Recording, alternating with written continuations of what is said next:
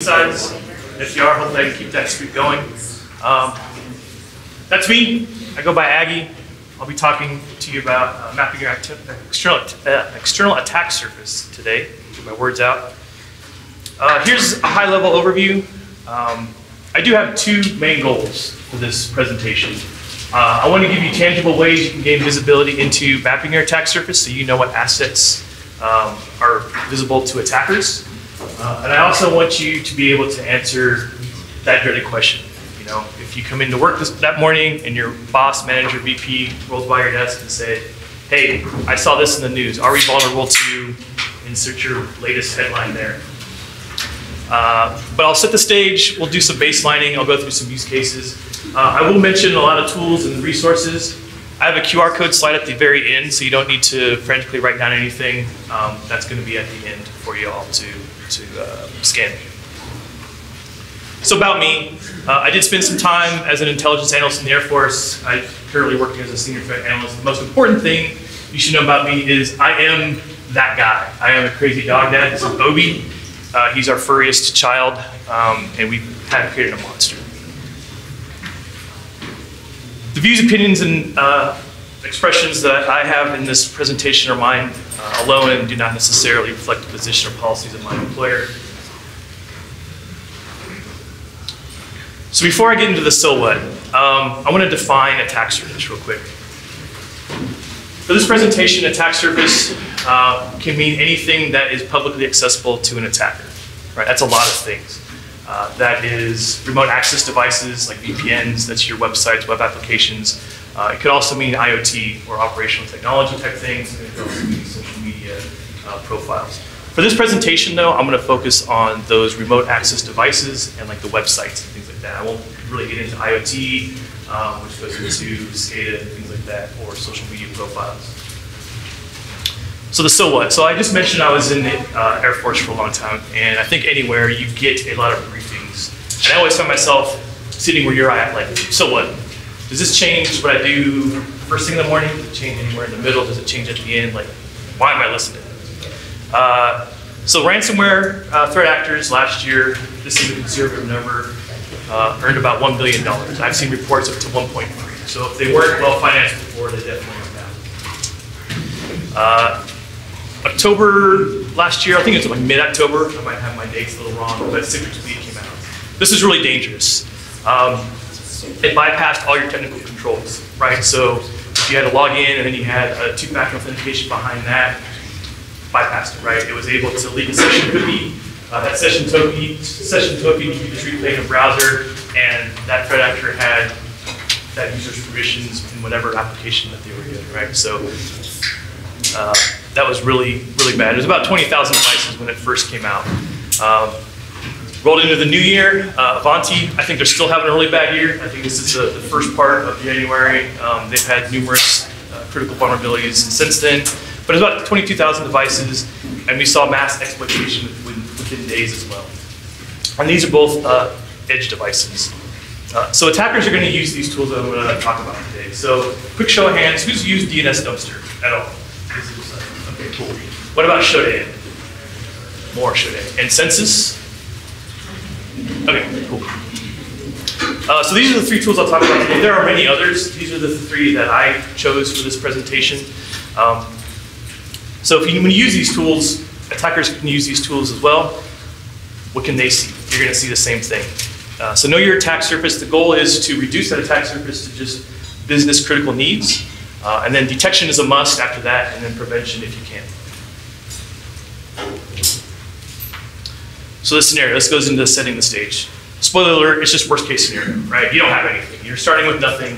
Uh, you're the lone wolf. Maybe if you're lucky, you get a, a, partner in crime to help you with doing this, but um, the point of this presentation is you can start with nothing and just be yourself. You're gonna find a lot of information quickly, uh, but to actually run it to ground, it's gonna take a lot of time, and we'll talk about that. So yeah, you don't have any IP addresses, you don't have any domain names, you know, where do you start? And we'll answer that question here in a second. No problem. Um, don't think I'm unique in this, but sometimes when I get really large tasks, I overcome with that paralysis, right? Like, where do I start? Maybe there's multiple places I could start. Which one's the best, right? Where do I go? So I'll give you a place to start. Uh, you're going to baseline your attack surface at almost no cost. All of the tools I'm going to talk about today all have a free tier. Um, Shodan that I'm going to show today, I paid the one-time $50 membership, which is almost unheard of nowadays, right? That, not $50 a month, like one time, and that's it. That's all I get to do. Uh, so you're going to reduce the risk for your company, and you're going to show immediate value. But again, to get it fully completed and get a good baseline that you can use on a reoccurring basis, it's going to take some time. So where do you start?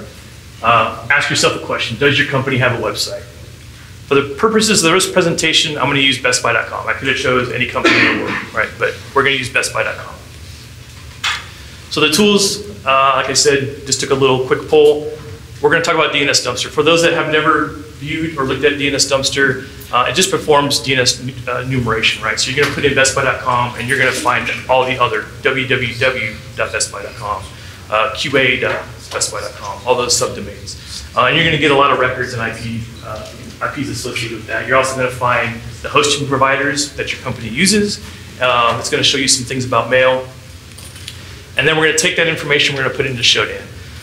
Uh, the best way to explain Shodan is it's just going to show you information on internet connected devices, right? And that's why I kind of narrow the scope to um, websites, web applications, and remote access devices. You can see IoT things in there, uh, but we're not going to cover that.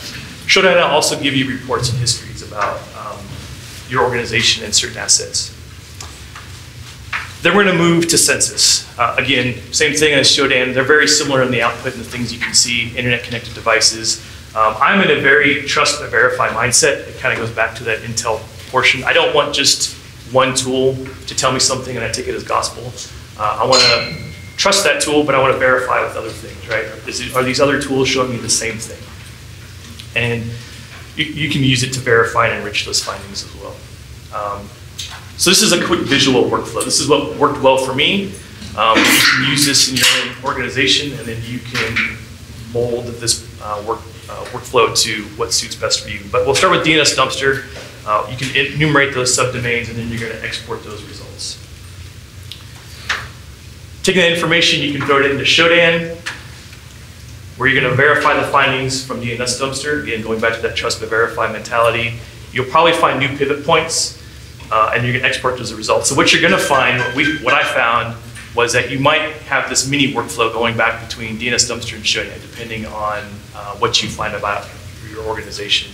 But at some point, you're going to get a really good visibility in what your company has, and then you're going to move from Shodan, and then we can put that information into Censys, which then, again, verify my findings that the other two tools have shown me, um, and maybe discover new pivot points that then I can go back to DNS Dumpster or Shodan, depending on what I need to find, um, again, to verify those, those results. So that's a quick visual workflow. So I had a challenge when I was making this slide. Um, I was going to take websites and I'm trying to make them static because I learned a long, long time ago if you don't have to do anything live, don't, because the pre presentation gods will feast on your tears. So I'm going to take a website that you can, you know, navigate uh, actively and make them into static slides. I did go from top to down, or top to bottom. Uh, so this should, that should follow DNS Dumpster. And I haven't checked it in a little bit, but I don't think they've changed your website. Excuse me. I do have up here in the top right a, a, a little yellow ticker. And I'm going to use that because we started with nothing. We just asked ourselves, do we have a website? Yes. And then at the end of each tool, we're going to walk through and show you like, hey, we just found all this information. And when I was putting this together, it was probably about four to six hours-ish of work, right? So you're going to find almost immediate value, um, but we'll talk about why it takes so long to run it to ground. So this is the top of DNS Dumpster. Um, up here, you can just throw in whatever organization you want, in Best Buy. Down here, it shows you the hosting providers, and this is important, right? So for BestBuy.com, um, this bar right here is what's hosted on you know, Best Buy's IP space, right? What they own. They also have uh, Salesforce, they also have Akamai, things like that. And that's important because if you come into work in the morning and you're sitting down having your cup of coffee and you're reading some security articles and you see Salesforce is hit with a DDoS attack. Well, if you don't know you're using Salesforce, you might just blow past that article. But now that you know that you're using it, we're like, wow, well, maybe part of our network is having problems. Maybe part of it's down. Um, and at the end of this DNS dumpster tool slide, you're going to see exactly what assets you have within each hosting provider. But the first step is knowing what you're using. So as you scroll down through the slide or the, the website, the next section you're going to go to is the DNS servers, right? Who are you using to do name resolution for your um, company? Same thing with knowing who your hosting providers are. Know who's doing the name resolution for your company, because if those companies have a problem, um, people can't visit your sites and it has like this domino cascading effect. And then at the bottom, uh, the MX records, this is where your mail goes to. Uh, it looks like uh, Best Buy uses Proofpoint. So again, same thing, right? You see an article that Proofpoint is being acquired, merged, DDoS, breach. Um, if you didn't know you're using Proofpoint for anything, it might just blow by. But now that you know that you were using it for mail, um, you can go and say, oh, help desk, has anyone reported problems with uh, receiving or sending mail? Um, things like that. Next section are text records. Text records are um, metadata that can be added to DNS records that don't affect name resolution, right? It's just like, kind of like amplifying data. And one of the things it calls out here in DNS Dumpster is you can look at the sender policy framework for additional information. High level, because sender policy framework is a part of this presentation, it's just a way for companies to combat spam. And I, I highlighted down here um, two Class Cs, right? So we started with nothing. We asked ourselves, do we have a company website? Yes. And within maybe a minute or two, we have two Class C subnets that we already know that um, belong to us or we use in some form or fashion. So we can write those things down as well. Okay, I'm going to go to my Homer and arrows first, and then I'll go back up. So if you, I encourage you as you go through any tool um, to really review, understand, and investigate what the output of the tool is telling you. But for whatever reason, you don't have time, like I'm late to a meeting, I'm just gonna, you know, run this real quick. If you do nothing else on DNS Dumpster, you're gonna click those two buttons that all my, my arrows are going to. Uh, you're gonna download a CSV file of all this information so you can review it later, and Excel is an analyst's best tool. Uh, and then you're gonna see a graph, and that graph is really cool for a couple reasons we'll talk about. So you're gonna click those two buttons. Uh, but now let's go up to the top. So after the text records, you're gonna find um, all your host records or A records of your company, right? This is what was talking about where you're gonna enumerate your uh, organization. So we're gonna take bestbuy.com and up here we have QA4 and then for that it's fabric dash internal, right? Uh, so QA, I don't know anything about Best Buy, but I'm just gonna assume QA stands for quality assurance. I need to be sure about that. I'll go investigate. Um, but then I was like, well, Fabric, that's a weird name. So I did a little research. That ends up being a Python library for unit tests, right? So you can find out a lot about an organization uh, and decipher the business just on their naming uh, conventions. Um, I'm guessing that if I scrolled up, I might see a QA3. And if we got more than 100 records, I'll talk about the cap here in a second. There might be a QA5, right? Um, and it has the IP addresses for each one, right? So you're going to find out a lot of information about your organization. Maybe you're new and you don't know how the business is set up this is a great way to kind of decipher that business. How do they how do they name things um, and, and, things like that. So because it's a free tool, and this is free in the truest sense, uh, a lot of free tools nowadays they ask you to sign up, right? You have to give them your information and things like that, and you get spam. Um, this is free in the truest sense, where you just go to the website and you start putting in domain, and boom, you get information, right? But like with any free tool, there's going to be some limitations. This limitation, you're going to get a cap of 100 A records. And it even tells you you're going to get the full report of 703. So one of the things that I saw this I would immediately do is go back to my boss and say, hey, boss, I know you're, you're sticking me on this project. Uh, I don't have any resources. I don't have any budget. I'm telling you right now, I'm using these free tools. I'm getting one seventh of our attack surface, kind of, right? So um, I think one thing that I wish someone would have told me a long time ago is in security, whether you're just starting out or whether you're a veteran, is we need to do better about building our business cases, right? A lot of times we just get sick on a project um, and we run into these hurdles, and in our nature, we just figure it out, right? We overcome them. Um, but we could use resources, right? Uh, more people, uh, more money, um, things like this you can stick in your back pocket and say, hey, you know, we, with the resources that we were given, which is nothing, um, this is what we're getting.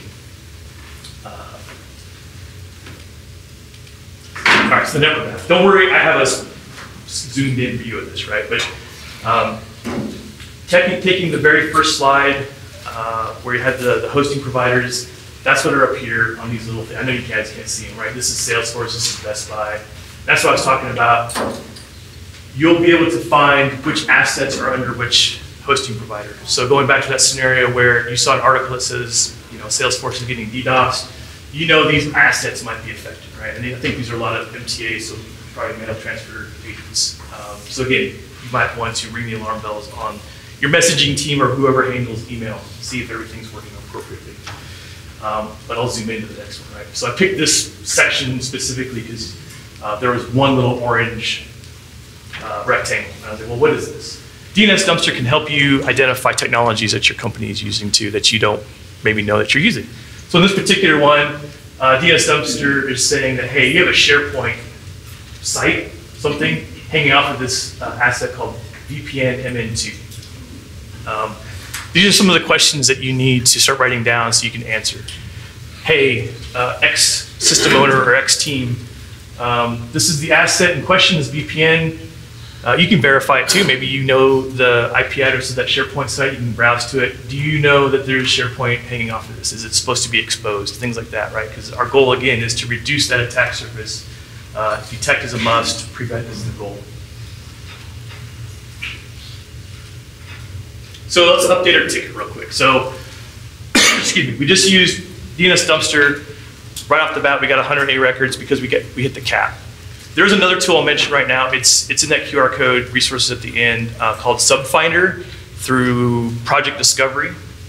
It's command line, which is why I didn't choose to do it here. I've sat where you guys are at and I've seen command line tools. Unless you're like really invested in command line tools, you, you go cross-eyed. It's not really interesting.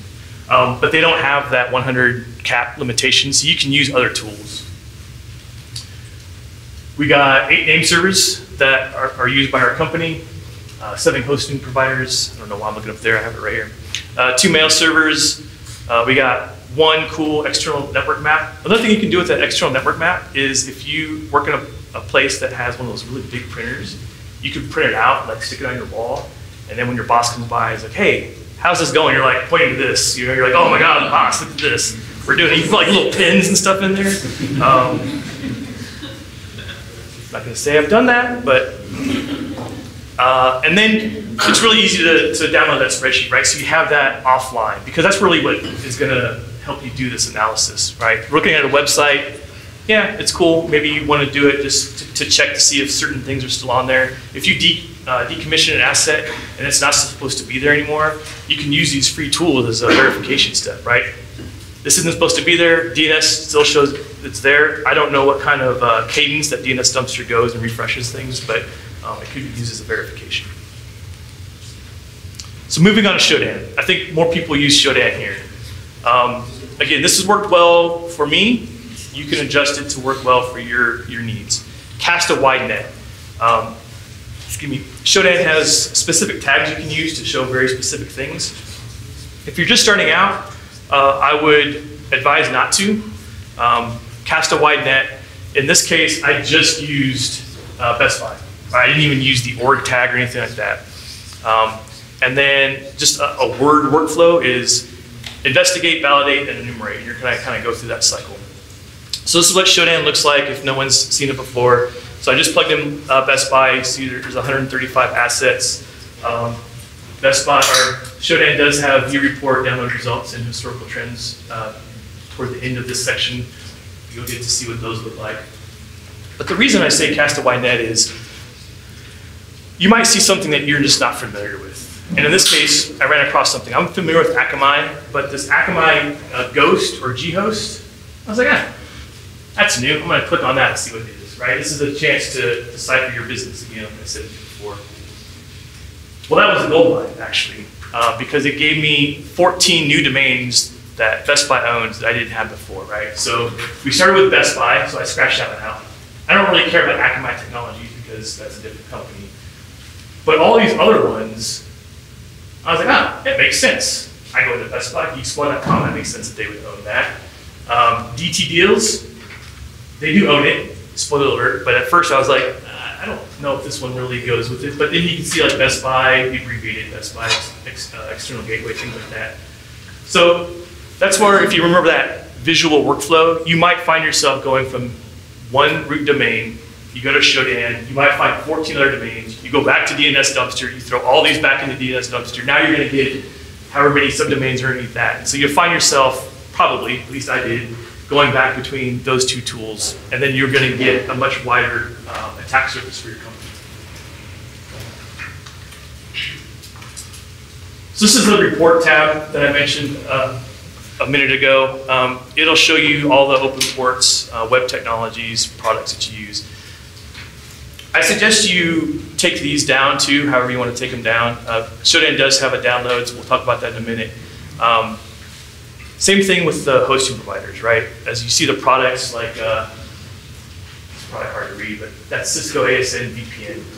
Um, anyone familiar, ever heard of Arcane Door? It just happened a couple months ago. Okay, one person. Okay, so there was an attack against Cisco VPN appliances, right? The campaign was called Arcane Door. So you want to make sure you know these products because if you don't know you're using Cisco VPN and you see a security article that mentions, hey, these things are getting popped, you'll blow, you'll blow right past it, right? So you'll need to make sure you know the products that you're using, also the web technology. Web technology is a big one too down here. Um, I'll pick Dynatrace RUM because it has the word RUM in it, but if you see uh, another article that has a vulnerability in that um, web technology, you're going to want to know that you're using it.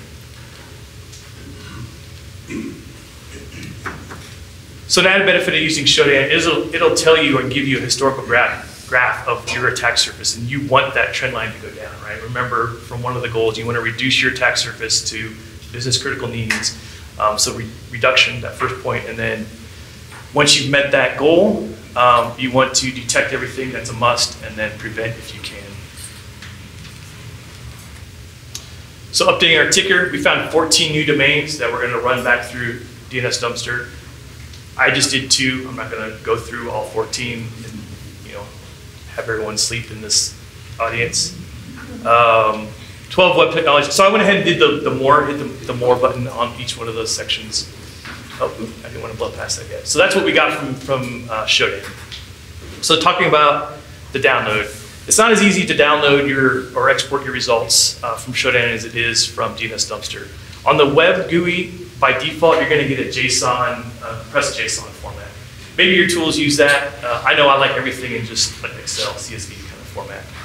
Um, so in this case, there is a command line version of Shodan. You'll have to get you know a, a Linux box. I don't think it runs on Windows. Um, download that package. Pretty straightforward. Uh, it's pretty straightforward to use. You're going to use that Shodan converter command, and then I actually have in yellow the actual command you would use, um, just substituting out whatever file that you downloaded, right? Um, and then you can convert it to CSV. So not as straightforward, not as simple, but you can still do it. So Censys. So uh, kind of fast forward, we took all those 14 domains, we've kind of gone back through, we've gotten a, a much wider visibility into our tax surface. Um, what I like using Censys for is that trust but verify kind of mentality. We have all this information. Let me go back to Censys. Are you going to tell me the same thing? And sometimes you'll get new pivot points, right? That's going to lead new investigations, which kind of goes back into it's going to take a long time for you to run this to ground completely. Um, so again, I have some Homer Simpson things that I've pointed out. Uh, it'll tell you, it'll call out specifically login pages. So I thought that was really interesting. When I ever see login pages, pages, I want to see, you know, the questions in my head are, does it have MFA enabled? Do we have detection if someone's trying to brute force type of things? Um, it'll show you vendors, software vendors again, so you can compare that to the list that you've seen from Shodan. Um, ASNs, as you go through and, and, enumerate your company's attack surface, you're going to see ASNs, think of it like neighborhoods for the internet. Right? You're going to see very common ASNs. And so that's what I, uh, I threw up here. I just use this autonomous system number, this 15 or 11596. Um, you're going to see common ones. And if you see some something that isn't that common one, then, then you can go and, uh, and investigate that, see what we're using that, that neighborhood for. Um, but it also tagged devices as well. Um, like here, it shows another VPN. So we can enrich and validate findings. Um, the DT deals domain that we saw on DNS, DNS Dumpster, I took that one and I wanted to find out if Best Buy really owned that. Um, they do. So what you can do is from Censys, here's all the DNS records for that uh, dtdeals.com. Um, it gives you the software technology as well. and I verified it with, with DNS Dumpster. Um, yes, the same asset uses Cold Fusion, kind of like that.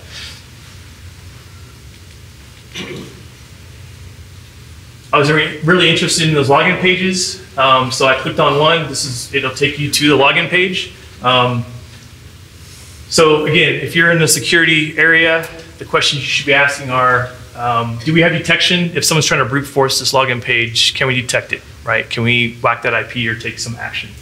Um, if you if you put in a username and password, am I prompted for multi-factor authentication? I don't know. I don't know what uh, DTMS is, but I would research that. Is it a third-party vendor? Is, are there known vulnerabilities out there in the CVE world? And it is, it's a, that's why for DT deals, it's like deal tree, I think is what it breaks out to be. It's a secondary market. So they, you know, they do own it. They've, they've branded it right here.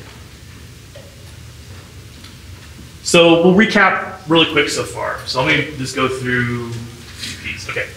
So we started with nothing. Uh, I'm not going to go read every single one, but we got a lot of information. Like I said, it probably took me four to six hours to, to do this because I was actually looking at certain things like the Akamai uh, ghost. I didn't know what that was. I want to investigate it. I encourage you to do the same if you're doing this for your company. Uh, something, if you're familiar with the technology, uh, go research it, learn it. Uh, that's why I like technology and security because you, you never know enough.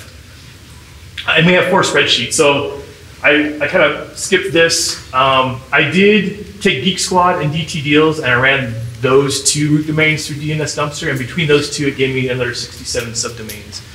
So if you kind of take that average and say, okay, well, there's 12 more root domains, you can kind of see how much this sprawls really quick. And that's why I said it's going to take you a long time to, to run this to ground. Um, but then you're going to have four spreadsheets, right? You're going to have three from DNS Dumpster and then one from Shodan. Uh, and hopefully you'll combine them all into one. And you can start you know, doing all the things that Excel allows you to do, uh, analysis and data um, comparison and filtering. Uh, and then we have one really cool network map that we printed out. So one, one more time, this is a, a workflow that worked well for me. Uh, you have initial thing, you're gonna investigate it, you're gonna validate that thing. That thing will probably give you new things, and you're gonna enumerate that, and then you're gonna pivot off those new things. So that's what you'll find yourself uh, doing a lot. And that's, this is what's gonna take a lot of time.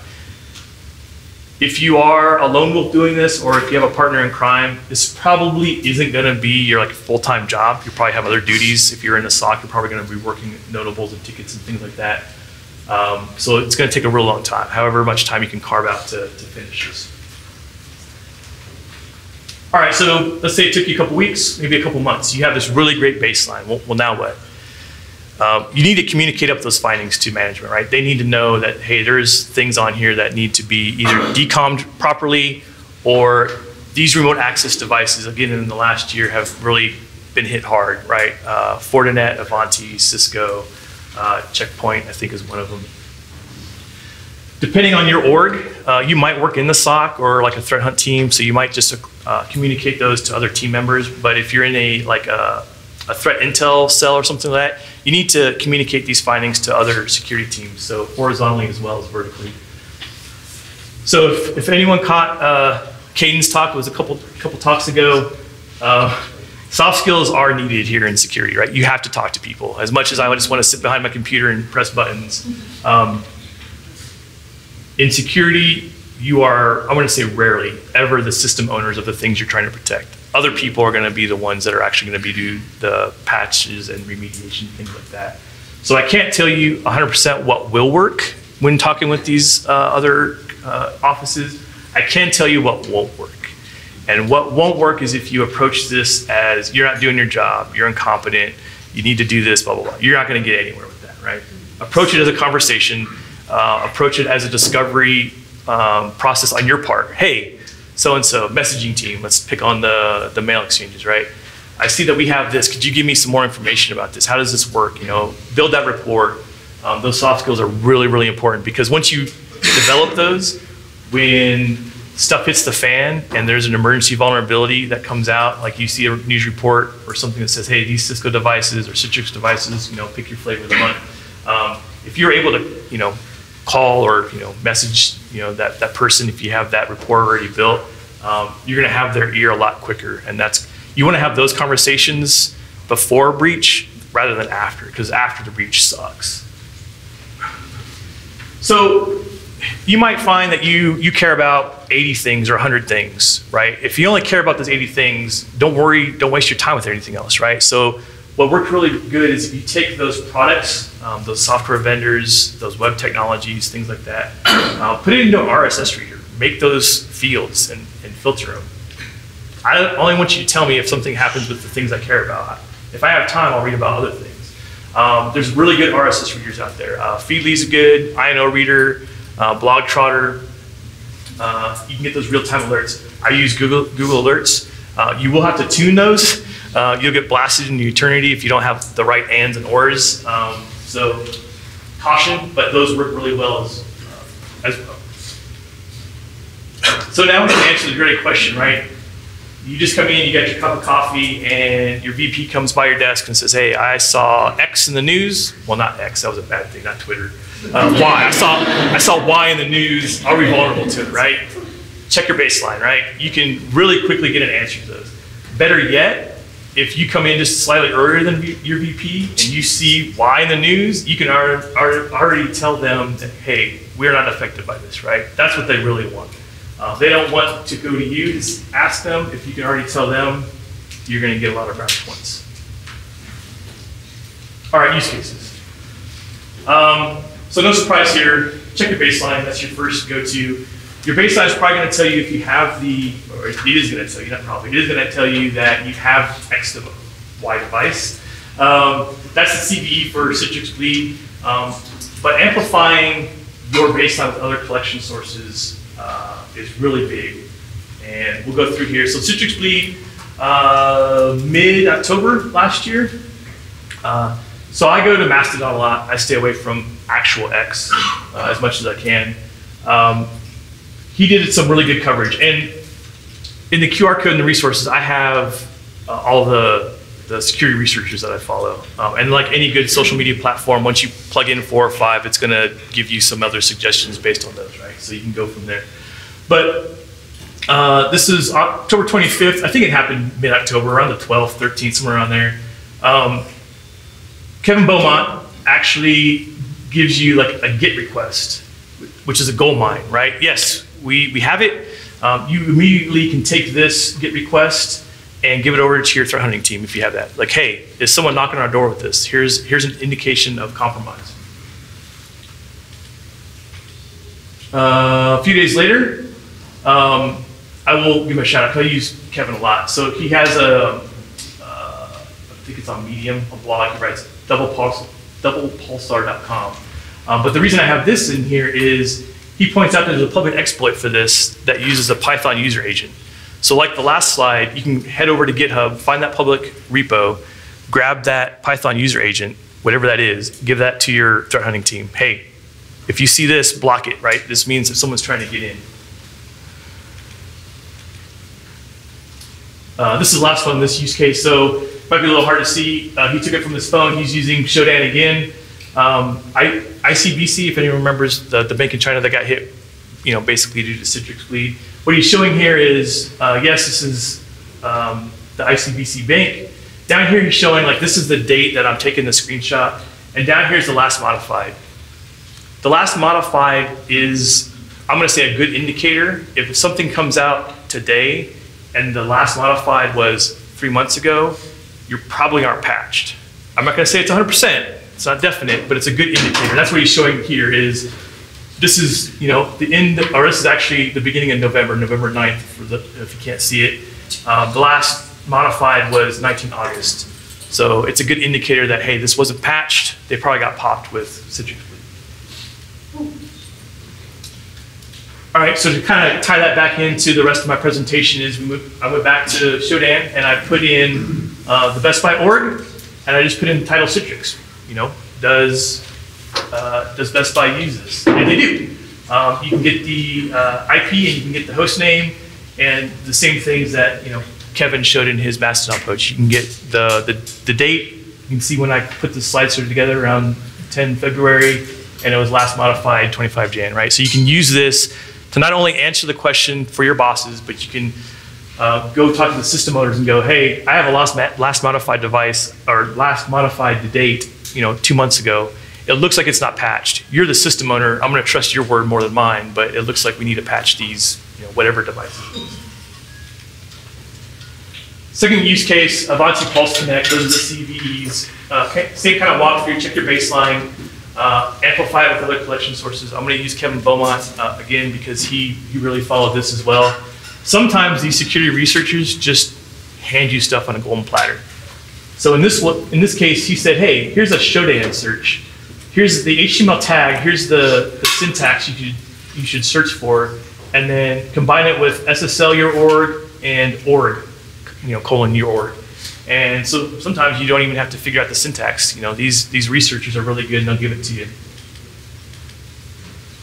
Uh, later that same day, he gave another uh, Shodan search. Uh, you can search for product Pulse Secure and then your org or your SSL your devices. So that's what I did. I was like, all right, I'm gonna see if Best Buy has Ivanti products, right? So uh, negative on this first HTML, and then again for the, the product, right? So you can not only answer if you have this product, but then you can follow on answer, hey, it looks like we may need to patch. Like, do I need to sound the alarms? Do I need to talk to the system owners on this? So that's the end of my presentation. I have, uh, if you have comments and feedback, gripes, complaints, you can reach me at that email address. Um, and then here's the QR code I promised. So, but I'll take questions now if anyone has any. Yes, sir. In the Air Force, were you enlisted, commissioned, or GS? I was enlisted. I was going to make a follow-on comment, but I refrained. I appreciate that. Yeah, yeah. Because one of my officers is in the room, so.